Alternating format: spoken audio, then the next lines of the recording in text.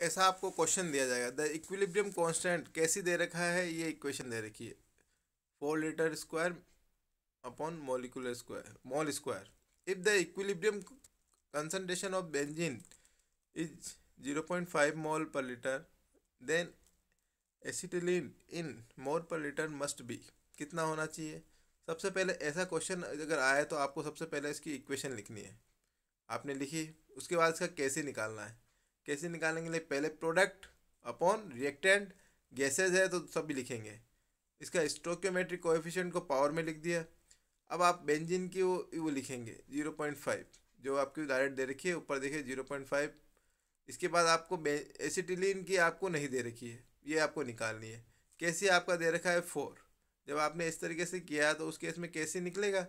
इसमें कोई प्रॉब्लम नहीं है। जब अब तक का सब कुछ हो गया है आपने यहाँ ये दे रखा है, ये दे रखा है, ये निकालना है। ठीक है ना? तो इजीली आपने ये आंसर निकाल लिया। ठीक है ना? एसिटिलीन आसान है इसको निकालना। इसके बाद आपने देखा कि इसमें से कौन सा आंसर होगा तो क्या है? ज़ीरो पॉइंट फाइव ठीक है? यहाँ तक आपने, ये तो बहुत सिंपल है। ठीक है? अगला क्वेश्चन ये कह रहा है कि सोल्यूबिलिटी कैसे निकालेंगे? जो के की बात आई थी अभी थोड़ी देर पर तो के के क्वेश्चंस कैसे आएँगे? ये देखिए। आपको दे दिया गया कि सोल्यूबिलिटी मतलब क्या दिया है? के दे, ये आपको दिया है ना कि जो एस दे रखा है सोल्यूबिलिटी मतलब एस दे रखा है।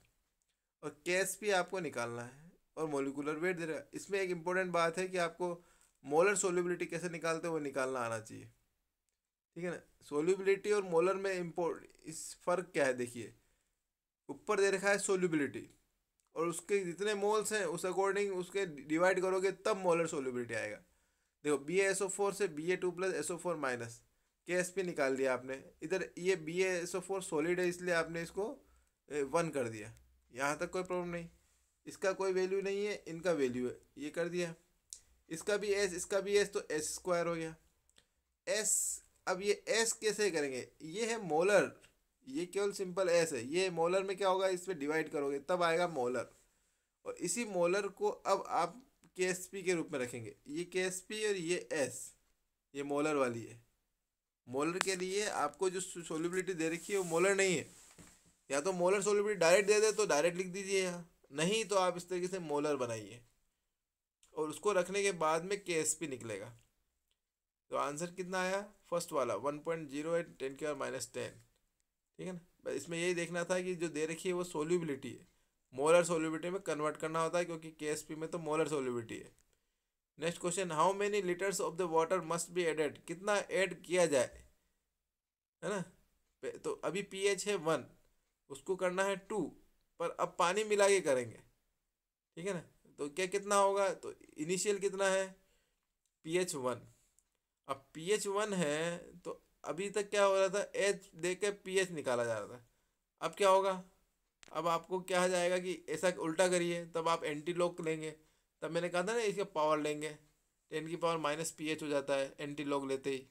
तो यहाँ पर आपने लिख दिया कि पी एच वन तो यहाँ पर माइनस वन लिख दिया। क्योंकि माइनस पी एच है ना। केवल पी एच की जगह वन लिखा है। माइनस पहले से ही फॉर्मूले में। तो ये आंसर आया। यहाँ पे क्या लिखे पी एच टू की जगह टू लिख दिया। अब ये कह रहा है कि पहले वॉल्यूम वी वन था, अब पता नहीं कितना है। क्योंकि अब पानी मिलाया है, ये नहीं पता है। ठीक है ना फाइनल वॉल्यूम नहीं पता है। Formula M one V one equal to M two V two M पता है आपको एम वन पता है और एम टू पता है वी वन पता है वी टू नहीं पता है। वी टू आपने निकाला टेन लीटर टेन लीटर तो मतलब वी टू इतना मिलाने के बाद में हो गया। मतलब कितना ऐड किया? कि टेन लीटर अब हो गया, शुरू में वन लीटर था मतलब नाइन लीटर आपने ऐड किया। तो कभी कभी ऐसे क्वेश्चन आएँगे एम वन वी वन के। ये आपको, उसमें भी पूछा जाता है प्रैक्टिकल में। M one V one equal to M two V two ये क्वेश्चन आने ही आने हैं। ठीक है ना? सिंपल सा आपको पी एच से उसकी मोलारिटी कंसनट्रेशन निकालनी है। यहाँ पी एच और कंसनट्रेशन का रिलेशन है। ठीक है? नेक्स्ट क्वेश्चन देखिए।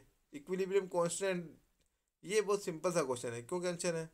क्योंकि आपको कंपेयर करा कर उन्होंने थोड़ा सा उसको सिंप्लीफाई किया। टेम्परेचर सेम रखा गया है। क्यों? क्योंकि जो इक्विलिब्रियम कांस्टेंट है वो केवल टेम्परेचर पे डिपेंड करता है। आपने ऊपर वाली रिएक्शन देखिए उसका भी देखिए पहला निकाल दिया के सी वन वन क्यों लिखा? क्योंकि फ़र्स्ट वाली इक्वेशन है। सेकेंड इक्वेशन लिखी, उसका निकाल दिया निकाल दिया। पर ये वन एंड हाफ़ है ना, इसको थोड़ा सा उन्होंने उल्टा कर दिया। क्यों कर दिया? क्योंकि देखो हाफ़ हाफ़ कैसे निकालेंगे? तो हाफ़ हाफ़ ना निकाले, उस केस में क्या हो जाएगा? उसने कहा कि इसको दुगना कर दो ना। तो इसको सबको दुगना कर दिया तो ये सब वन में आ गया। देखो हाफ़ से वन हो गया, ये वन हो गया। नीचे वन है तो टू हो गया। क्यों हो गया? क्योंकि इसको दुगना किया। मतलब अगर मैं इसको टू कर दूँ तो ये आंसर वन और वन आ जाएगा। तब इक्विलिब्रियम कांस्टेंट भी वैसा हो जाएगा। अब ये जो है ना, अपना जो कैसी आया था, वो कैसा था? वो और इसमें क्या रिलेशन है? अगर मैं वन बाई कैसी कर दूँ तो ये वाली चीज़ आएगी कि नहीं आएगी? देखिए इसका इसका रिलेशन आ गई। तो वन बाई कैसी तो कैसी की वैल्यू दे रखी है। देखो फ़र्स्ट वाले केस में। जब फ़र्स्ट वाले केस में कैसी की वैल्यू दे रखी थी, जब उसको सोल्व करेंगे one by KC equal to one by one upon four into ten और माइनस फोर तो कैसी क्या आया? उसको जस्ट अपोजिट कर दिया। अपोजिट करने के बाद में क्या किया? उसके बाद में इसको सोल्व किया तो आंसर कितना है? फिफ्टी वो तो बहुत सिंपल है। अभी आपको करना क्या था? ऊपर वाला कैसी नीचे को कंपेयर करना था। दुगना करके आपने उसको सर्कल कर दिया। ठीक है ना? ये ये अच्छा ये अंडर रूट इसलिए किया क्योंकि कैसी स्क्वायर है। ये कैसी स्क्वायर को सोल्व करने के लिए under root one upon two four into ten का माइनस फोर है। सिंपल है। ये आप कर ही लेंगे। सिंपल गणित है। एक क्वेश्चन ये थोड़ा सा इम्पोर्टेंट अच्छा लगा मुझे। क्या है? इसमें दो इक्वेशन दी है और उसको उन्होंने कहा कंपेयर करके करिए। तो इसमें है क्या चीज़? इसमें इम्पोर्टेंट बात यह है कि पहले जो क्वेश्चन है ना उसको उन्होंने क्या किया? अपने को करना क्या था कि आपको डिज़ायर्ड क्या है? मेरी डिज़ायर्ड ये है। और फाइंड आउट करना है इनसे, क्योंकि डेटा दिया है इसका। तो एक और बात मैंने देखी है कि जो चीज़ यहाँ लिखी होती है ना, हम वैसे ही करते हैं। जैसे टू एस ओ टू तो ये एस ओ टू है। तो इसको अगर मान लो मैं थोड़ा सा कर दूँ डिवाइड कर दूँ। देखो इसको कैसे सोल्व किया ये बताता हूँ आपको मैं। इन्होंने क्या किया, इसको किया टू से इंटू टू से इंटू कर दिया तो ये टू एसो टू हो गया। ये टू हो गया, ये टू हो गया, ये टू हो गया। ठीक है ना? तो उन्होंने कहा कि इसको टू से किया तो ये टू एस टू टू और नहीं नहीं, ये वाली चीज़।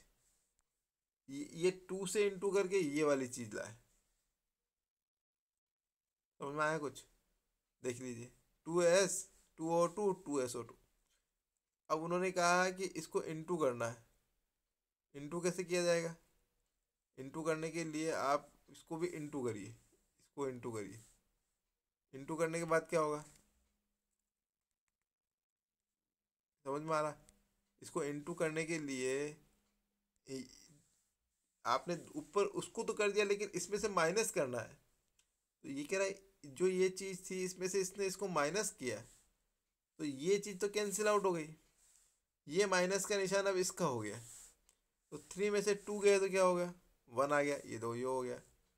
इस केस में इसमें से ये टू एस ओ थ्री इसमें से ये हुआ तो ये आंसर आया। इसको आपने वापस से शिफ्ट किया तो ये माइनस वाला ये प्लस में आ गया। तब ये आया और यही इक्वेशन जो डिज़ायर्ड है वो ये है। तो इन्होंने कहा कि इसका के के के, के भी तो आप करेंगे। तो जब इसका है तो इसका के क्या है? टेन की पावर वन टू नाइन ठीक है? इसका आपने दुगना कर दिया तो टेन की पावर फिफ्टी टू, इसको दुगना कर दीजिए, है ना? तो उस केस में आया वन ज़ीरो फोर। अब वो कह रहा है, ये के जो आ गया ना, ये क्या है? के टू माइनस के वन। तो के टू माइनस के वन करके उन्होंने क्या किया? आपस निकाला तो टेन की पावर ट्वेंटी फाइव आंसर आया। तो इसमें रियलिटी क्या है कि जो आपको डिज़ायर्ड है, उस अकॉर्डिंग उसको शिफ्ट करना है। और ऐसे माइनस करके उसके बाद में माइनस हो गया। इसका मतलब के टू माइनस के वन। तो के टू माइनस के वन को आप के टू अपॉन के वन लिखेंगे। क्योंकि पावर की जब बात आती है, जब प्लस का हो जाता है तो यहाँ माइनस में में अपॉन में जाएगा। तब ये इस तरीके से सोल्व होगा। ठीक है ना? ये सिंपल सी गणित है।